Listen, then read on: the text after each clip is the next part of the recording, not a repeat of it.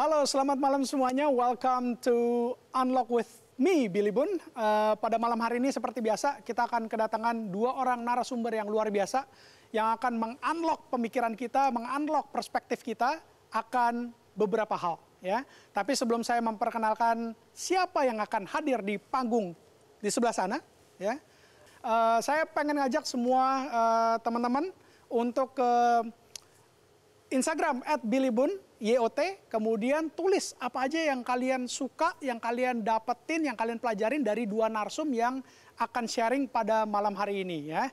Dan kemudian nanti menangin dua buah kacamata Oakley persembahan dari Optic Says yang beruntung. Oke, okay? So without any further ado, saya akan memanggil narsum pertama, uh, seorang perempuan cantik yang peduli banget sama bumi. Coba bayangin. Alright, please welcome Angelique Dewi. Woo!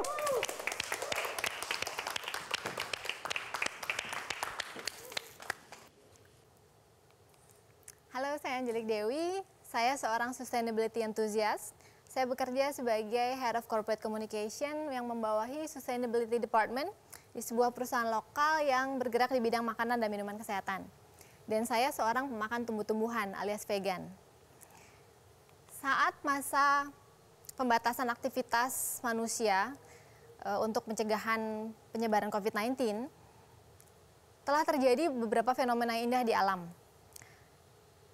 pada saat uh, pantai sepi dari manusia, ada 70 ribu ekor penyu olive ridley yang naik ke pantai di pantai Roshikulia di India. Dan mereka ke sana untuk bertelur di siang hari. Ini belum pernah terjadi sebelumnya, biasanya penyu-penyu ini datang pada malam hari pada saat pantai sepi. Pemandangan yang sama juga terjadi di pantai Juno di Florida dan juga di pantai Paulista di Brazil. Sayangnya belum ada kabar dari penyu-penyu di Indonesia nih. BMKG juga mencatat pada Hari Bumi tanggal 22 April yang lalu terjadi penurunan polusi udara di Jakarta yang sangat signifikan sehingga menempati Jakarta di posisi ke-38. Padahal di awal tahun Jakarta sempat menempati posisi pertama sebagai kota dengan tingkat polusi udara tertinggi di dunia. Aktivitas manusia memberikan efek langsung terhadap lingkungan kita, Nah, ini yang disebut dengan manusia menghasilkan jejak ekologis. Jejak ekologis adalah seberapa banyak sumber daya alam yang kita gunakan, seberapa banyak lahan dan air yang digunakan untuk membuat makanan kita, lahan untuk pemukiman, hasil bumi dan hasil laut untuk konsumsi, dan juga seberapa banyak kemampuan alam yang dipakai untuk menyerap dan mengolah limbah serta karbon dioksida yang kita hasilkan. Sedangkan biocapacity atau kapasitas biologis ini adalah luas area yang produktif secara biologis yang tersedia di alam untuk menghasilkan sumber daya seperti hutan, area penangkapan ikan, area pertanian, dan juga kemampuan alam untuk menyerap limbah dan karbon dioksida. Kondisi yang ideal adalah jika jejak ekologis ini lebih rendah atau maksimal sama dengan kapasitas biologis. Namun sayangnya sekarang kita sudah mengalami kondisi yang disebut dengan ecological overspending, di mana jejak ekologis manusia sudah melebihi biocapacity atau kapasitas biologis dari bumi. Sampai dengan tahun 2019, para ahli telah menghitung bahwa kita telah menggunakan sumber daya sebanyak 1,75 kali lebih cepat dibanding apa yang dapat diregenerasi oleh bumi dalam waktu satu tahun. Jika manusia tetap dengan pola konsumsi yang seperti sekarang, pada tahun 2050 kita membutuhkan tiga bumi, suatu hal yang mustahil. Dan jejak ekologis yang berlebihan ini juga memberikan resiko yang lebih tinggi bagi sebuah negara secara ekonomi. Karena sumber daya akan semakin mahal dan tanpa sumber daya yang memadai, maka akan sulit untuk menjalankan roda perekonomian. Bukti-bukti dari jejak ekologis yang berlebihan, salah satunya adalah deforestasi. Setiap tahunnya dunia kehilangan hutannya sebanyak satu negara Inggris. Itu setiap tahunnya. Sedangkan deforestasi di Indonesia pada tahun 2018 itu tercatat sebesar 440 ribu hektar. Ini setara dengan enam setengah kali luas DKI Jakarta. Kemudian bukti kedua adalah krisis air. 28 hampir 28 juta e, masyarakat Indonesia kekurangan air bersih. Ini lebih dari 10% dari populasi. Dan 71 persennya kesulitan memiliki akses terhadap fasilitas sanitasi. Penyebabnya adalah konsumsi produk-produk yang berkebutuhan air tinggi, seperti daging, energi e, dari bahan bakar fosil, lalu deforestasi sendiri, dan juga perubahan iklim. Bukti ketiga adalah darurat sampah. Pada tahun 2019, Indonesia memproduksi sampah sebesar 66 juta ton. Berarti sebulannya itu 5,5 juta ton. Dan ini 60% adalah sampah organik, 15% sampah plastik, dan sisanya sampah lain-lain. Yang keempat adalah krisis keanekaragaman hayati. Data WWF menyebutkan bahwa selama 45 tahun terakhir, populasi dari hewan vertebrata atau tulang bertulang belakang itu sudah berkurang 60 persen. Penyebabnya adalah rusaknya habitat-habitat mereka oleh tangan-tangan manusia. Ini adalah foto harimau Jawa yang sudah punah sejak tahun 1970 karena perburuan manusia. Nah, bagaimana sih kita untuk mengerem laju ecological effort spending ini ya? Kalau mencegah sudah nggak bisa karena sudah kejadian, tapi kita coba perlambat adalah dengan cara hidup sustainable. Apa itu sustainability? Sustainability adalah pemenuhan kebutuhan masa kini tanpa mengorbankan kemampuan generasi mendatang untuk memenuhi kebutuhan mereka. Lebih bijak dalam mengkonsumsi dan memilih gaya hidup. Jangan memikirkan diri sendiri kini, tapi juga pikirkan masa depan untuk generasi mendatang. Sustainability terdiri dari tiga pilar. Yang pertama ada planet, people, dan profit. Tiga hal ini saling terkait dalam satu sistem yang tidak bisa dipisahkan untuk menciptakan hidup yang berkelanjutan. Untuk planet atau aspek lingkungan, semua makhluk hidup bergantung pada alam. Karena semua yang dibutuhkan oleh makhluk hidup tersedia di alam. Makanan, air, oksigen, semuanya dari alam. Jadi kalau misalnya alam kita rusak, maka pemenuhan kebutuhan manusia juga akan terganggu. Nah, cara untuk melestarikan alam dengan cara menjalankan green lifestyle. Green lifestyle ini seperti hemat air, hemat energi, menggunakan renewable energy, kemudian mengurangi emisi, mengurangi sampah, mengolah sampah, dan juga menjaga keanekaragaman hayati. Selain menjalankan green lifestyle, yang saya lakukan adalah menjadi seorang vegan. Kenapa seorang vegan ini dapat berkontribusi terhadap lingkungan? Seorang vegan ini menghasilkan karbon dioksida 50% lebih rendah dibandingkan dengan pemakan segala atau omnivora. Karena tidak makan daging, kami juga mengurangi polusi air dan kami hanya mengkonsumsi air 13 kali lebih sedikit. Karena jika teman-teman tahu, untuk memproduksi 1 kg daging sapi itu membutuhkan 15.000 liter air. Ini bukan untuk merebus satu kilogram sapi itu ya, daging itu, tapi dihitung dari awal dari peternakan sampai dengan daging itu siap di piring Anda. Sedangkan untuk memproduksi satu kilogram serealia dibutuhkan 1.200 liter air. Jadi jauh banget. Kemudian vegan diet juga mengurangi laju deforestasi. Karena lahan yang dibutuhkan untuk memberi makan satu orang vegan dalam satu tahun hanya 675 meter kubik. Dibandingkan dengan omnivora itu dibutuhkan lahan sebesar 12.140 meter kubik. Dan supaya teman-teman ketahui bahwa hampir 90% deforestasi di sungai Amazon itu disebabkan oleh peternakan sapi.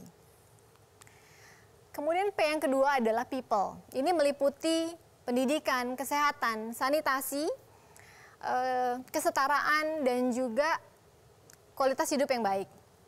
Semua aspek ini dibutuhkan supaya manusia dapat hidup dengan layak. Saya pribadi menjaga kesehatan dengan menjalankan pola hidup sehat, yaitu dengan nutrisi seimbang, olahraga teratur, dan stress management.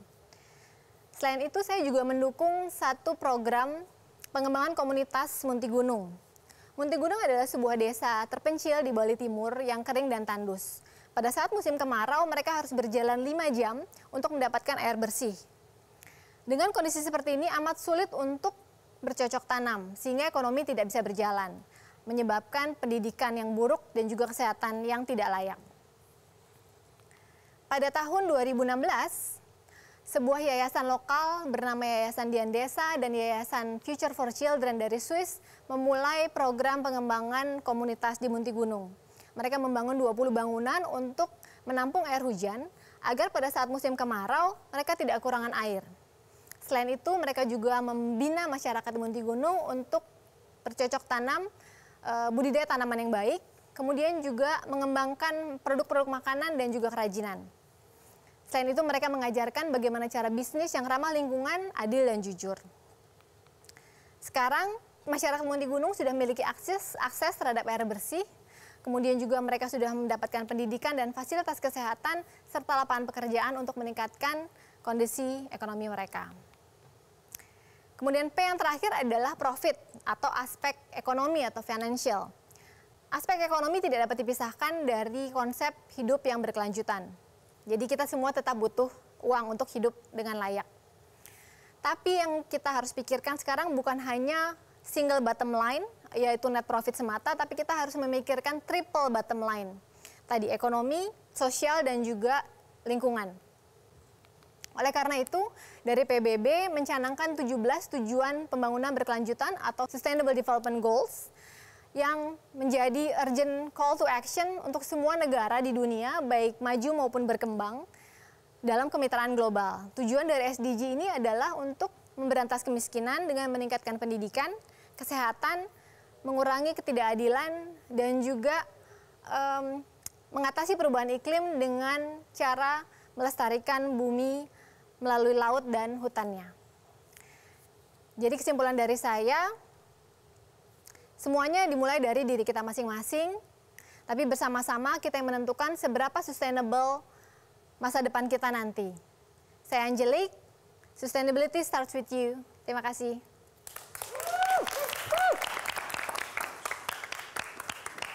Gimana okay. mereka bisa hidup layak seperti kita sekarang menghirup udara segar gitu. Pada saat mereka nanti belum tentu bisa gitu. Jangan-jangan masker ini akan mereka pakai terus walaupun COVID udah nggak ada uh. gitu ya karena polusi udara yang sangat jelek. Yeah.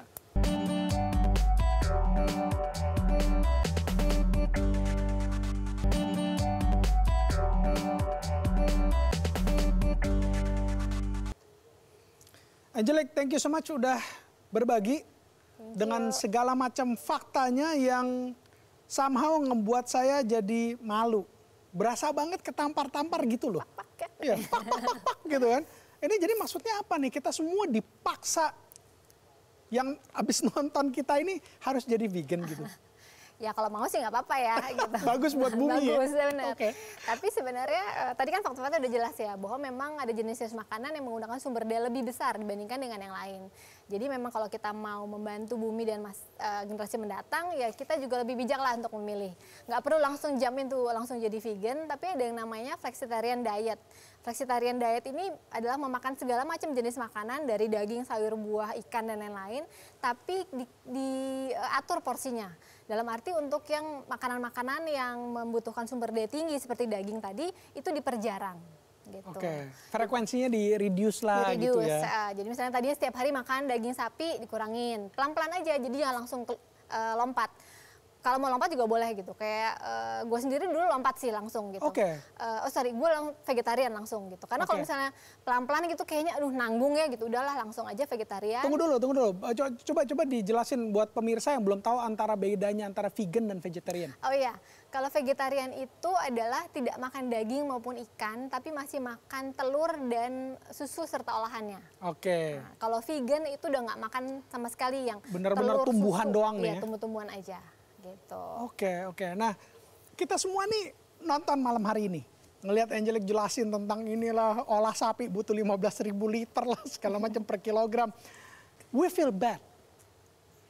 Sorry. Successfully bikin kita semua guilty feeling gitu kan. Yang aduh kita sumbangsi terhadap beginian dong berarti gitu.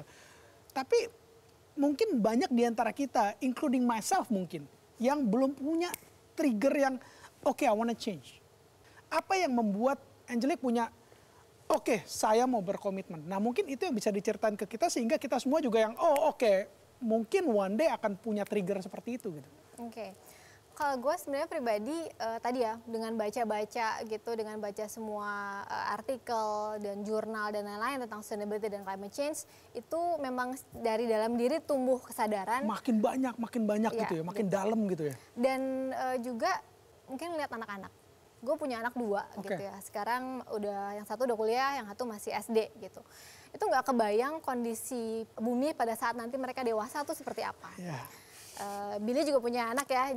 Aduh, ini ini, ya, ini, gitu. ini ini udah ketampar-tampar luar biasa Kalau nih. hidup kita paling tinggal berapa puluh tahun lagi sih ya, gitu. Ya. Tapi mereka tuh masih jauh lebih panjang Correct. gitu. Gimana dengan cucu-cucu kita? Betul gitu. Jadi kondisi sekarang aja sudah tadi ya, udah ada krisis air, sudah ada uh, deforestasi udah segitu jeleknya gitu. Gimana nanti pada saat mereka gitu. Gimana okay. mereka bisa hidup layak seperti kita sekarang menghirup udara segar gitu pada saat mereka nanti belum tentu bisa gitu. Jangan-jangan masker ini akan mereka pakai terus walaupun COVID udah nggak ada uh. gitu ya karena polusi udara yang sangat jelek. Ya. Oke, balik ke data yang tadi uh, udah di present sama sama Angelic dong. Jadi kalau tahun 2050 nih kalau kita kayak begini-begini aja nih bumi kayak gimana ya?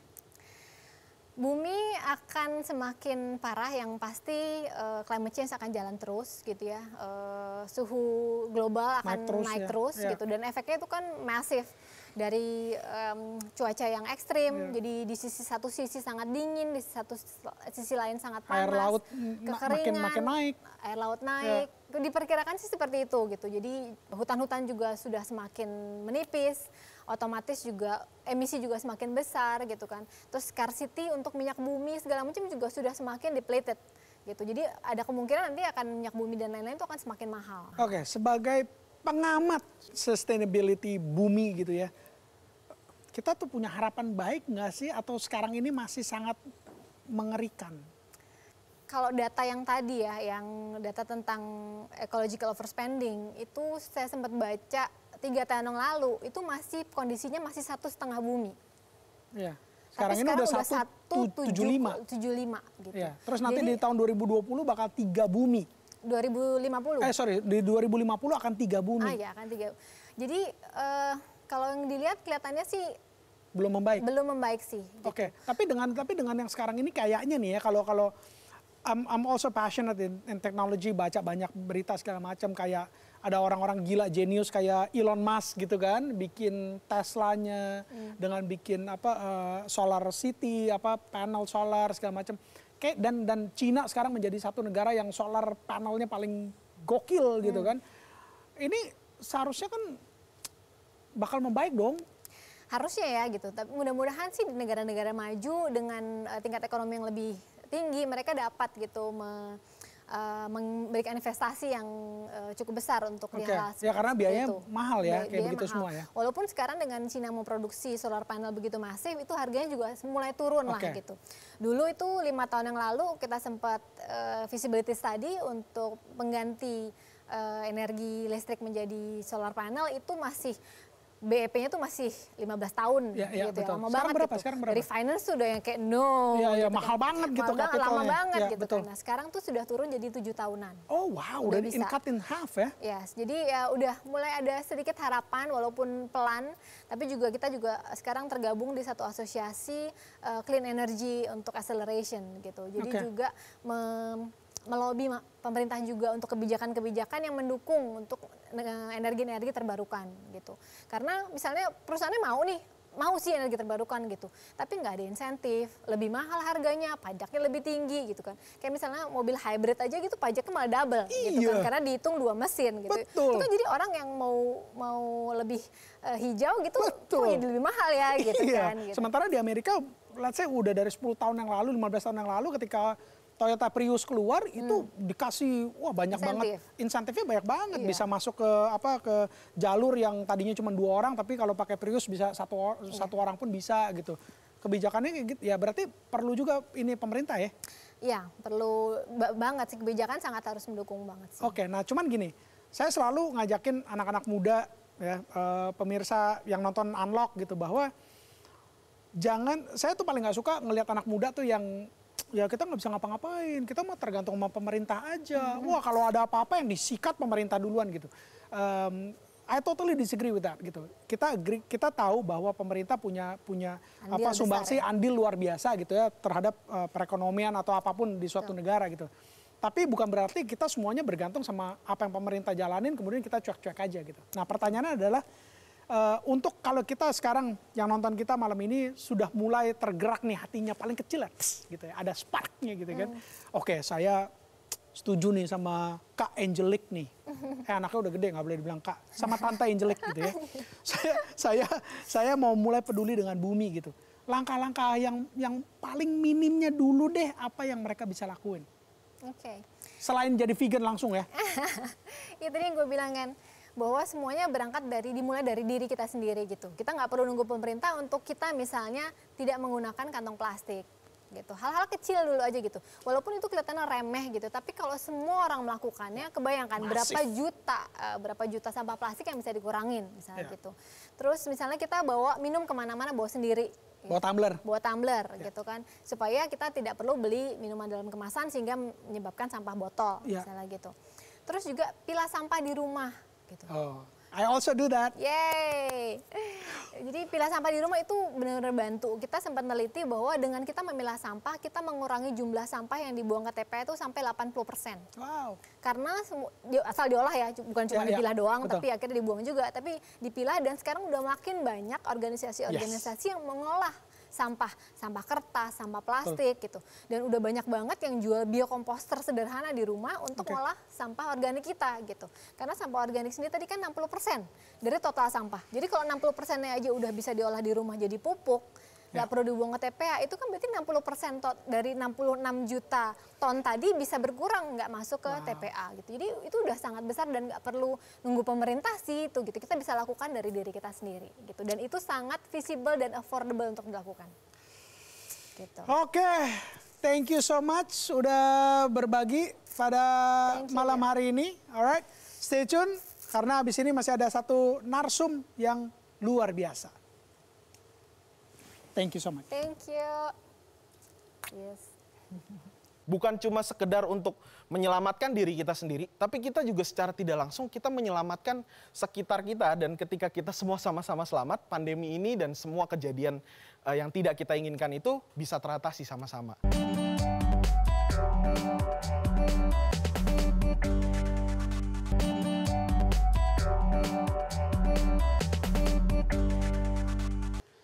Oke, kita masih di Unlock with me Billy Boon dan sebelum saya memanggil narsum berikutnya, habis ini uh, ke Instagram saya @billybunyot, kemudian tulis apa aja yang kalian suka dari yang sudah disampaikan oleh narsum tadi dan kemudian narsum yang berikut ini. Kemudian nanti uh, yang beruntung bisa dapetin dua buah kacamata merek Oakley persembahan dari Says. Oke, okay? so without any further ado, please welcome Mas Lukas Nawawi.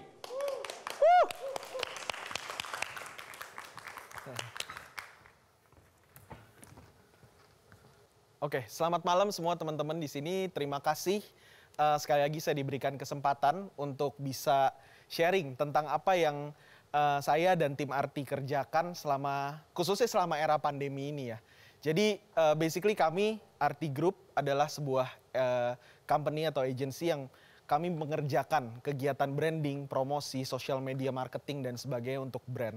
Jadi di era pandemi ini apa sih yang brand bisa lakukan gitu ya. Nah ini kita akan bahas. Nah sebelum kita bicara mengenai uh, apa yang bisa dilakukan, namanya digital marketing kita bicara mengenai data.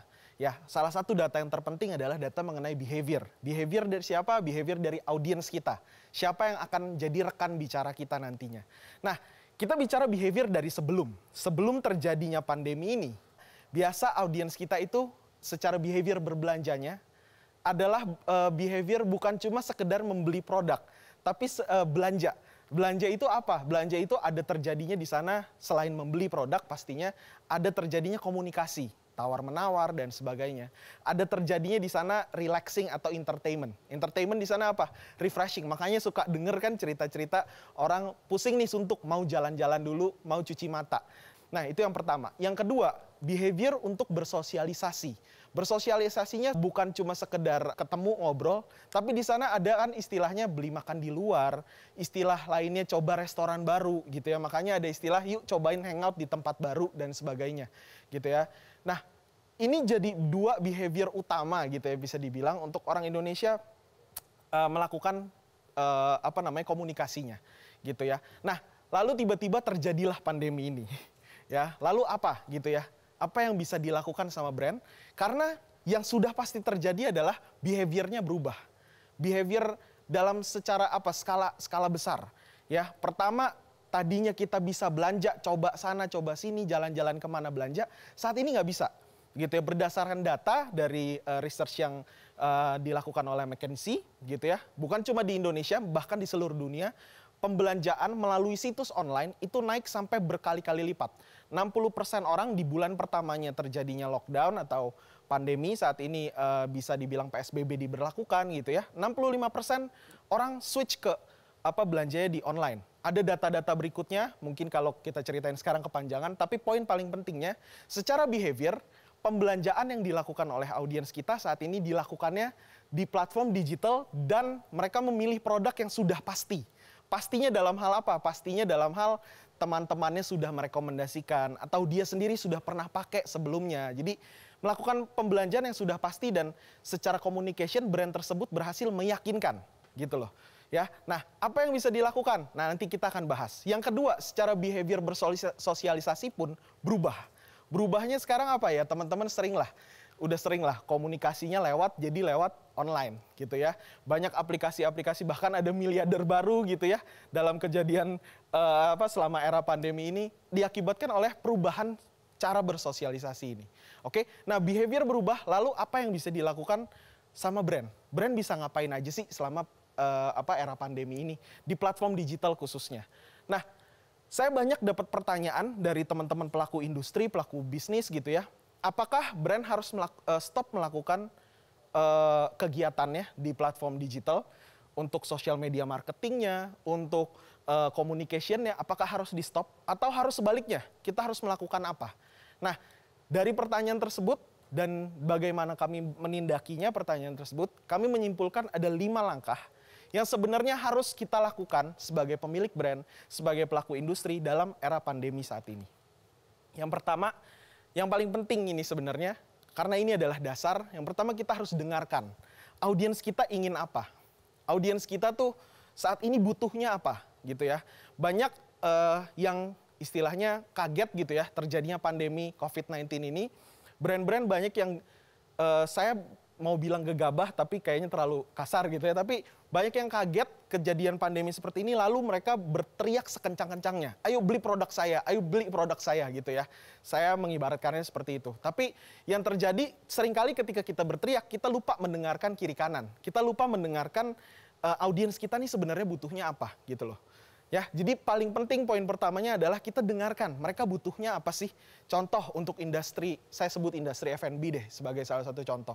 Yang dibutuhkan mereka bukan hanya sekedar makan enak saat ini, tapi mereka butuh keamanan, safety-nya, bagaimana produk ini dikemas dan sebagainya. Nah, ini sebenarnya bisa kita arahkan untuk ubah jadi strategi. Gitu ya. Nah, berikutnya kita harus lebih sensitif terhadap detail gitu ya, sensitif dan perhatikan detail. Kenapa ini penting? Karena lagi-lagi saya ambil contoh kasusnya industri F&B.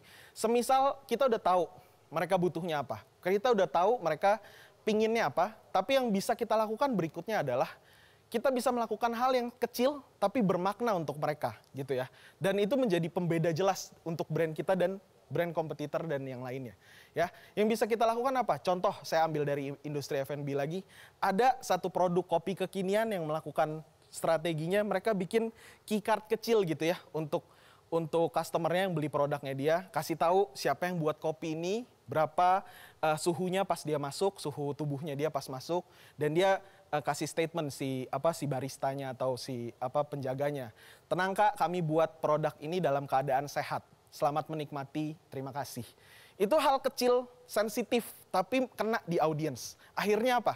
Difoto sama audiensnya, dipost di sosial medianya, seketika produknya viral lagi gitu loh. Dalam keadaan seperti ini mereka bisa melakukan eh, kegiatan seperti itu. Yang ketiga kita lakukan evaluasi terhadap apa? Terhadap tim dan terhadap brand kita yang paling penting. Sadar nggak sadar sebelum terjadi pandemi kita sibuk sibuk melakukan segala sesuatunya, capek melakukan semuanya sampai lupa terkadang buat uh, cek gitu ya tim kita saat ini sedang uh, kesulitannya apa, mereka sedang uh, optimal atau enggak, brand kita sudah berjalan sesuai belum dengan kemauan kita gitu ya. Kadang pemilik brand juga banyak yang sosial media brandnya sendiri juga nggak sempat dicekin gitu. Mungkin ini waktunya kita untuk melakukan evaluasi terhadap kita, tim kita dan brand kita. Sudah sesuai apa belum sama visi dan misi yang kita tetapkan di awal. Ya, yang keempat adalah kita buat strategi untuk beradaptasi dengan keadaan saat ini.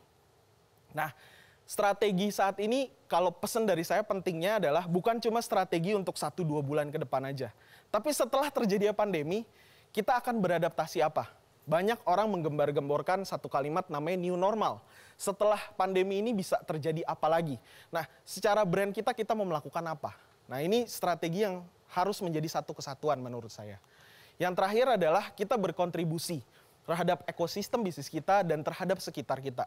Karena ini penting, bukan cuma sekedar untuk menyelamatkan diri kita sendiri, tapi kita juga secara tidak langsung kita menyelamatkan sekitar kita dan ketika kita semua sama-sama selamat, pandemi ini dan semua kejadian uh, yang tidak kita inginkan itu bisa teratasi sama-sama. Gitu ya. Jadi kalau saya bisa menyimpulkan dari semua uh, lima poin tersebut, kita harus berpikir uh, satu pertanyaan ini. Ada di mana brand kita saat setelah pandemi usai? Ya, bukan cuma sekedar pandemi ini kita bisa lewat atau enggak. Tapi setelah pandemi ini lewat, brand kita stuck di tempat, brand kita sudah tidak ada lagi, atau kita mau brand kita sudah melaju kencang, gitu. Nah itu pertanyaan ini bisa kita jawab dengan kita lakukan lima langkah yang tadi.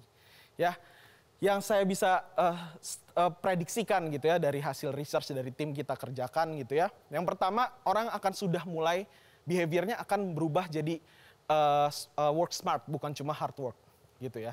Jadi setelah ini orang akan terbiasa kerja pintar. Tadinya mau meeting harus uh, buang berapa jam buat berapa jam kiri kanan gitu ya. Saat ini orang mau meeting tinggal uh, apa namanya online meeting gitu ya. Jadi cepat. Orang bisa kerja uh, melakukan beberapa hal dalam sekaligus gitu. Yang kedua, kebiasaan untuk berkolaborasi. Kejadian pandemi COVID-19 saat ini membuat kita berkolaborasi, bukan cuma uh, skala bisnis kecil, tapi semua bisnis besar pun berkolaborasi saat ini. Nah, teman-teman sudah siap belum dengan perubahan ini semua?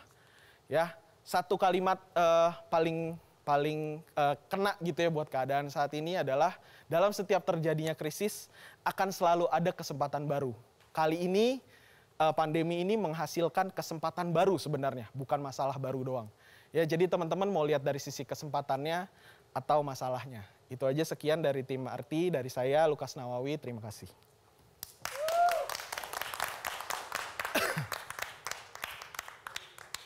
Platform sosial saat ini, khususnya di era pandemi, itu naiknya significantly uh, increasing. Okay. Kenapa? Karena tadinya punya uh, pilihan lain untuk Betul. nyari hiburan, nyari informasi. Saat ini nggak ada platform lain.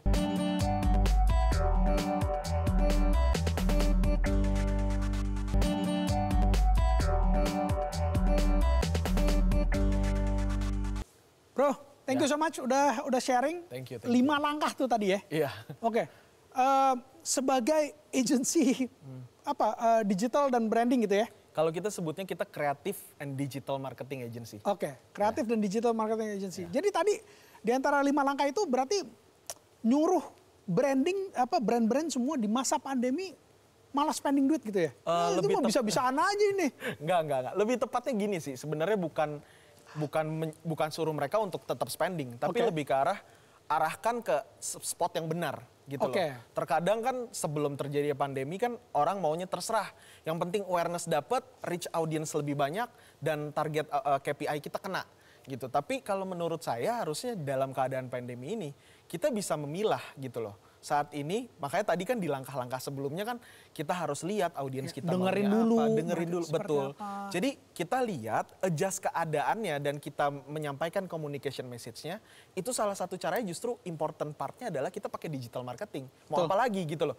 Cara kita mengkomunikasikannya udah nggak bisa gitu ya, loh ya, ya. di di platform lain. Totally agree, totally agree. Uh. Kenapa saya bisa bilang agree sama sama Mas Lukas? Karena memang uh, to be honest, yang on top sendiri kan bukan perusahaan yang harus ber, beriklan gitu kan yeah. selama yeah. ini gitu karena memang kita uh, reach-nya ada di 24 kota 600 ribu apa uh, anak-anak muda dan seterusnya yeah. gitu tapi sejak pandemi kita beriklan di sosial media men oke okay. kita berikan di sosial media kenapa karena kita pengen ngasih tahu bahwa sekarang ini yang untuk punya Inspira webinar, yes. sebuah apa platform yang untuk yeah. kita pengen berbagi, karena yeah. kan nggak bisa lagi ngerjain offline offline kan? Iya yeah, benar. Nah ya exactly apa yang tadi Iya. Mas Lukas bilang bahwa kita harus nge-reach-nya gimana. Kita pasang iklan sekarang ini. Yes. Gitu. Jadi yang tadinya zero budget untuk Iya. itu sekarang malah kita apa Ah, iya, beriklan betul. gitu. Nah, da- dari data yang saya dapat juga sebenarnya online eh, social media saat ini, platform sosial saat ini, khususnya di era, pandemi itu naiknya significantly eh, increasing. Oke. Kenapa? Karena tadinya punya eh, pilihan lain untuk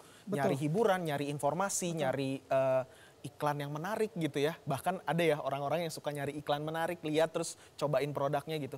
Saat ini nggak ada platform lain selain platform sosial eh, sosial platform di digital Oke. gitu loh. Jadi ya mereka platform-platform itu secara eh, apa viewersnya itu gila-gilaan significantly increasing. Gitu Oke, dan sebenarnya kan enak ya. Mak- Maksudnya beriklan itu kan yang apa, di, di digital itu kan nggak mesti budget harus minimum punya 100 juta baru bisa beriklan kan Eh, enggak ya. enggak, enggak, Sekarang enggak ini sekali. udah benar-benar ngomongnya receh nih, cuman Iya. budgetnya 50 ribu pun bisa, 100 ribu pun bisa Iya. gitu kan.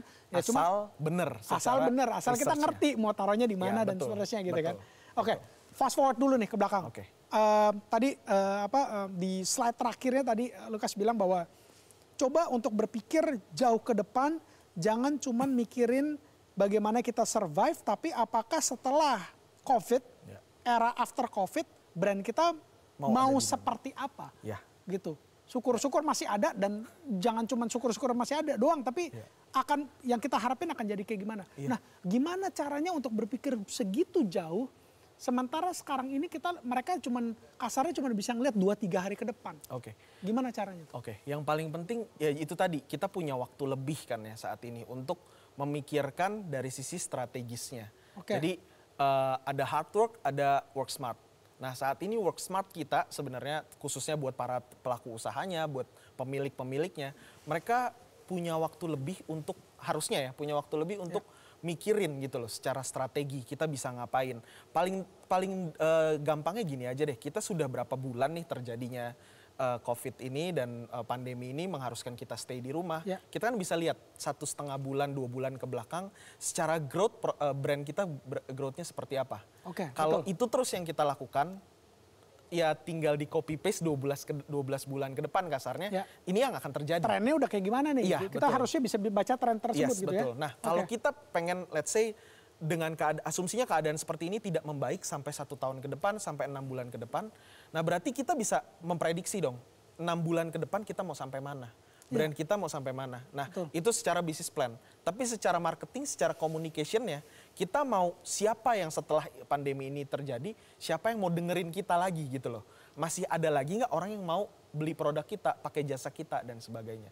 Nah itu sebenarnya menurut saya lebih penting untuk dipikirkan, bukan cuma sekedar kayak Oke penting pak, satu dua hari ke depan, dua tiga hari ke depan, satu minggu ke depan, itu kita mau sampai mana. Tapi lebih penting lagi sebenarnya brand kita ini tuh mau dibawa ke mana setelah ini gitu loh.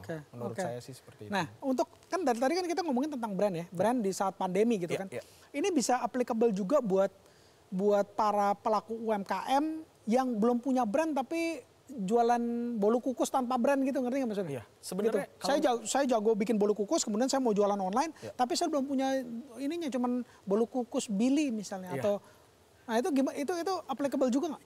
menurut saya applicable karena kita balik lagi kan poin nomor satu ini kita dengarkan lalu kita sensitif terhadap hal-hal detail, dan Detail. sebagainya ketika kita melakukan lima langkah itu kita tahu nih kebutuhan audiens ini sekarang apa Oke. jadi kalau saya mengibaratkan ya ini justru saat ini adalah eh, race yang istilahnya sepadan kita nggak bisa ngomong lagi brand besar kita nggak bisa ngomong lagi brand kecil I agree. saat ini justru ra- race-nya atau Fresh- perlombaan fresh iya, start ya. sepadan. Iya. Mau brand industri rumahan sekecil apa pun, bersaingnya bareng-bareng nih sama brand yang udah gede, tapi mereka saat ini justru yang brand besar nggak nggak lebih nggak adjustable gitu kan. Mereka udah punya seribu toko. Exactly. Oh bingung tuh tokonya Iya. gimana gitu. Iya, Kalau jadi- kita lagi nggak punya toko, kita nggak usah mikirin ruginya di toko gitu kan. Betul. Mereka Iya, yang iya. punya ribuan toko, ratusan toko, saat ini mereka lagi berupaya sinkronin strateginya supaya mereka bisa jadi satu toko online gitu Iya, kan. betul, Iya betul. kan? Nah, kita belum punya toko online. Artinya kita bikin baru, mereka lagi bikin baru juga gitu loh. Mereka bikin baru, ingat 100-nya ini lagi rugi loh. Iya. Iya kan? Ada sewa, ada segala macam. Iya. Justru mereka mulai dari minus, kita Betul. dari enggak ya. Betul, itu dia. Oh, Makanya wow. sebenarnya secara apa ya? Ini race yang sepadan, perlombaan yang sepadan kalau saya bilang. Jadi makanya balik lagi ke pertanyaan terakhirnya, mau ada di mana kita? gitu loh. Kita mau ada di mana? Justru ini kalau kalau saya mau dibilang ke pertanyaan Mas Billy tadi yang pertama, ini berarti cuma bisa-bisanya agensi aja kali suruh orang apa spending buat marketing. Saya bilang justru terbalik. Ini justru kesempatan kita sebagai agensi buat sadarin, weh ini waktunya nih teman-teman ini waktunya nih buat kita Emang mulai, dasar gitu orang loh. agency ya. Bukan. Bisa ngelihat semua peluang gitu. Iya, iya. Lukas, thank you Iya. so much man Iya, udah iya, sama-sama. berbagi buat kita semua Sama-sama. dan itu tadi pesan ya. Iya. Kita harus mikirin setelah after Covid Iya. brand kita mau ada di mana. Iya. Alright. Oke, that's it perbincangan saya sama Mas Lukas. Eh, sekarang juga langsung ke Instagram @billybunyot kemudian eh, tulis apa aja yang udah disampaikan sama dua narasumber pada malam hari ini yang kalian benar-benar suka, benar-benar stick gitu ya. Terus kemudian kalau bisa di-share juga di Instagram kalian, di sosial media kalian ya. Nanti yang beruntung saya akan umumkan di Instagram saya @billybunyot yang mendapatkan dua buah kacamata eh, Oakley persembahan dari Optic Says. Oke, stay at home, dukung pemerintah supaya COVID-nya di Indonesia nggak makin melebar ke mana-mana. Oke, until next month, be inspired. I'll see you on top. Cheers, man. Thank you. Tepuk tangan dong.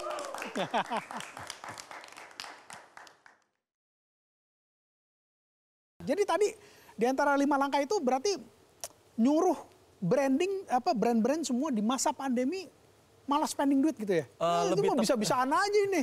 Enggak, enggak, enggak. Lebih tepatnya gini. gue punya anak dua Oke. gitu ya sekarang udah yang satu udah kuliah yang satu masih SD gitu itu nggak kebayang kondisi bumi pada saat nanti mereka dewasa tuh seperti apa Ya.